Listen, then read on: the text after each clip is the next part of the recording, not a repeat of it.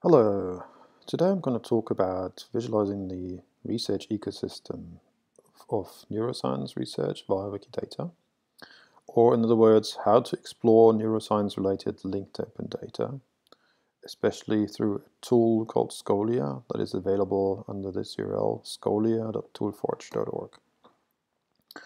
Um, this presentation is available on Zenodo, and it also gives you a few examples of visualizations that have been generated using the tool that help visualize the landscape of neuroscience research. So let's go through the different parts of this um, one by one. Um, first, the kind of profiling that we're doing here is a mechanism by which we have collected a set of questions that you might have about a certain element of the research ecosystem in neuroscience. So this might be a research topic, an article, a researcher, a clinical trial, a gene, a protein, or uh, a biological pathway, things like that. Then uh, we have collected a set of questions that would be interesting for an entity of a particular kind we have translated those questions into queries to a database. And then uh, we render the results that we get from the database. The database in question here is Wikidata, which is collaboratively curated. It's a community platform. And um, it has also been referred to as the edit button of the semantic web because uh, it allows essentially anyone to contribute to the semantic web. Um, it is one of the largest public knowledge graphs. It currently has over 90 million entries with over 11 billion statements about them. It's still far from complete, um, but anyone can contribute and make it more complete in a certain area. And there are about 20,000 users a month that do this, which means that the platform is growing quickly. All of the data in Wikidata is available under CC0, so it's in the public domain. The platform is also multilingual and cross-disciplinary, and it meets the criteria of the FAIR data principles, which means it is findable, accessible, interoperable, and reusable for humans and machines. it is part of the Wikimedia ecosystem, that is, it's a sister project to Wikipedia, and is integrated with Wikipedia and the other sister sites. It's also used by major search engines and many other tools. So, how is neuroscience covered, or how are neurosciences in general covered? That is actually a bit hard to estimate because uh, there have not been concerted efforts specifically for the neurosciences. But the neurosciences overlap with lots of other fields where there have been concerted efforts. That includes genetics, taxonomy, clinical trials, uh, cell types, and a number of other things. Um, Wikidata has about 8,000 properties that can be used to describe um, the entries and depending on whether it's a cell type or um, a signal molecule or a pathway, uh, the properties that you would use to describe them are different and um, altogether the uh, statements add up to those 11 billion but that includes many things that are not neuroscience because the platform is cross-disciplinary. So you might find galaxies there or uh, soccer matches or books uh, on uh, of poems or things like that but there is a significant portion um, of neuroscience in there as well and I'll give a few examples. Then the uh, other thing to keep in mind is that Wikidata is integrated with thousands of other databases, which means you can also use it for um, identifier hopping, basically for converting identifiers between different databases or database systems. So how does it work on a technical level? Scholia is a web service written in Python. It's served via Flask and it renders the results um, of SPARQL queries to the Wikidata query service. all of this um, happens on the fly. The code for this is uh, open, it's available on GitHub, all the data in Wikidata is open source, and now let's have a look at a few of these uh, profiles.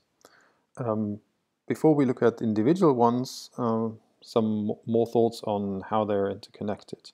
Because we're talking linked open data here, this means that if we have a uh, an entry, for instance, for a biological pathway, um, it will have um, statements about which molecules are involved in the pathway, um, which means that the uh, pathway will show up on the profile for the molecules.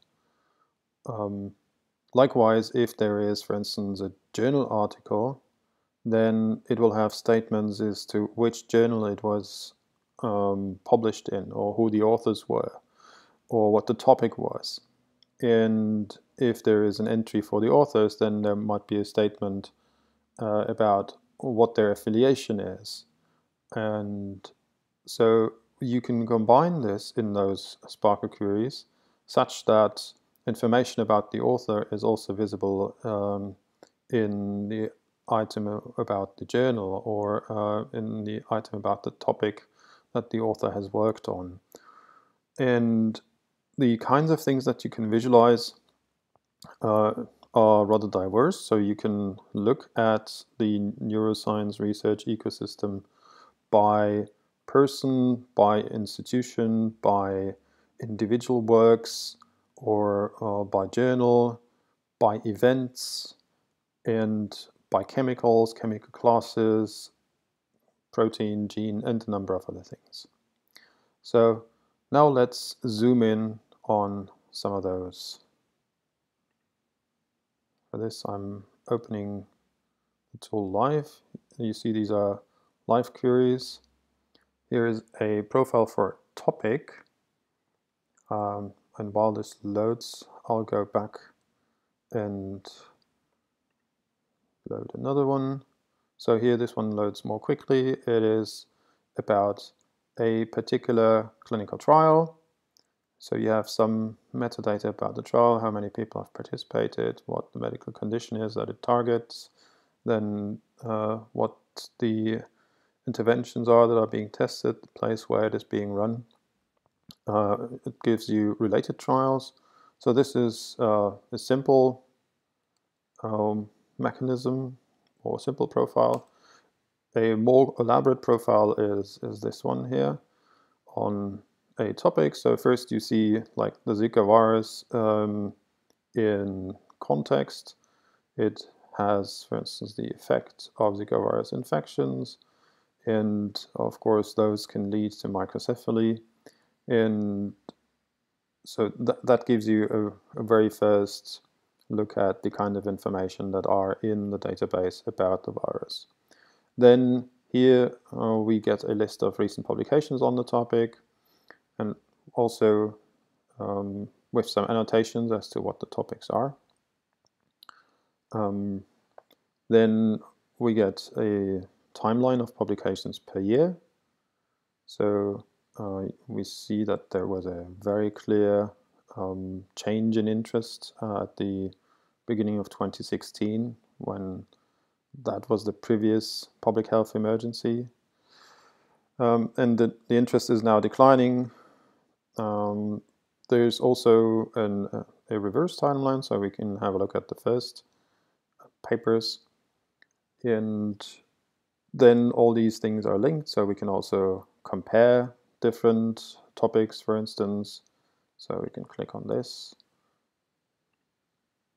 That gives us a list of works where these different topics are combined. Um, and then people who have published on these topics, things like that.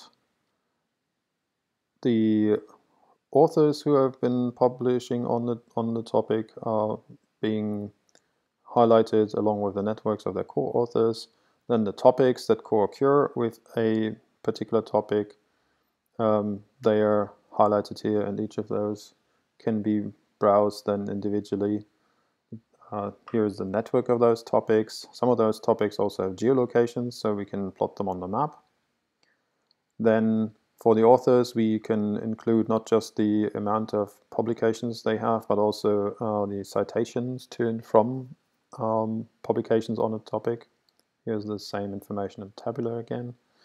Uh, importantly, there is uh, a possibility to look at um, data that we know is missing. Then here is uh, a list of uh, the journals that mostly publish on this topic, the most cited papers, most cited authors on the topic, and also a map of organizations uh, that have been publishing papers on the topic or whose affiliated authors have been publishing papers on the topic. Um, then on that basis we can build a country level citation graph and at the end you get a list of awards that have been given to people who have been publishing on the topic. So then now as, as a, let's have a look at some of the information that we know that is missing. So here we have a number of author name strings that uh, have been found on papers and they have not yet been converted to entries about who the actual author is because there might be multiple people with uh, this author name string. Um, yeah, some of the other profiles that I have chosen here are articles and researchers. And so here the important thing about the article profile, let's do that quickly, is that uh, it also provides you with a list of statements in the database that are supported by this particular paper. So that's kind of a, an in interesting measure of impact. Here we have 16 statements that um, are in the database and directly supported by this particular paper. And uh, so I think that is a more direct measure of impact than some of the measures that are more widely used nowadays. The other uh, profiles here, yeah, a biological pathway, uh, a journal, a researcher. The, I encourage you to explore these things via the copy of this presentation. And yeah, I'm interested in feedback. Thank you very much.